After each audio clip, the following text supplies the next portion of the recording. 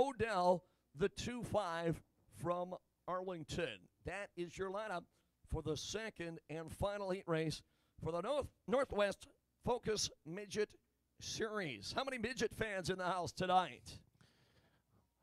Well, great to see these cars out here on the one fifth mile track. We had the WMRI a couple weeks ago on the three eighths mile track. And uh, looking next year to hopefully grow this event for the Focus Midgets. And hopefully we'll have them on the three eighths track next year with 20, 25 cars. Couple of good friends, Loving and Shane Smith, side by side to the green flag. A little bumper tag between the two of them, and that'll knock Jones to the back of the field. Yellow flag. We're under caution, Jeremy.